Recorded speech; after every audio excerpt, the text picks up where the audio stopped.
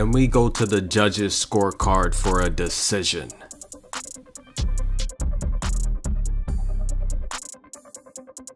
But it was not the decision most people wanted to hear.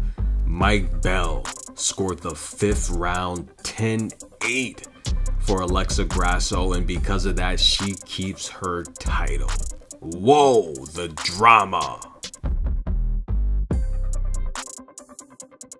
Now, the very important round was the fourth round.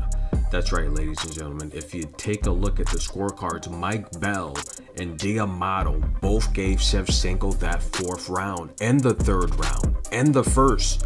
So Shevchenko had this fight won, but Mike Bell with the 10-8 decision. Whoa, we have a draw.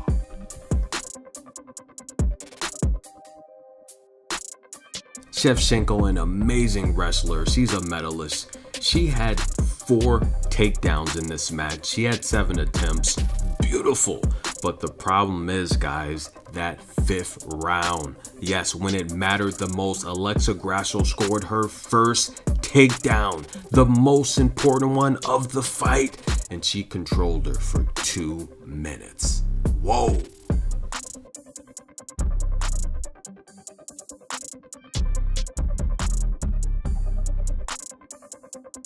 Both ladies had a submission attempt, but this was a staggering statistic. That's right, Alexa Grasso threw over 100 more punches than Valentina, and she landed about 5% more, not many more.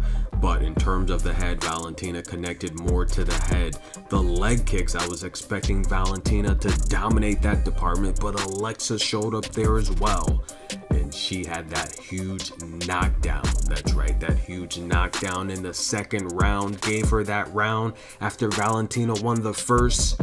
Whoa, was this fight action packed.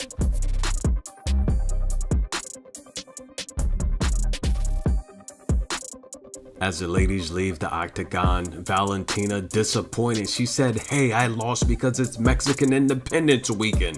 The judges didn't want to upset the fans, and neither did Valentina as she left the arena. She let fans kiss her on the head. Where's my kiss, Valentina? Oh, what a competitor she is. Classy woman, too.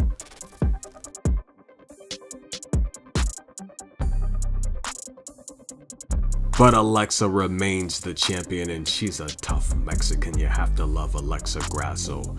Congratulations, Alexa. Let's run it back for a trilogy. Why not? There's no other big fights like this in the women's division. Any of them.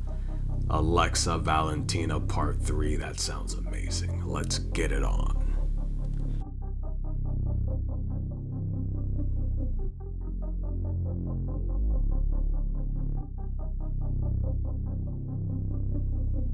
It's a draw, but the real winners tonight all the millions of fans that watched this amazing fight.